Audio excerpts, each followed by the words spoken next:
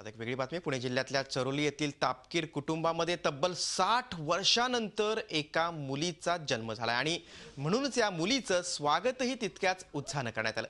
जंगे मिरवणूक काढण्यात आली. रांगोळ्यांच्या पायगड्या घालून राजनंदिनीचं स्वागत करण्यात आलं. तापकीर कुटुंबानं चक्क गावभर हत्तीवरून साखरी वाटली.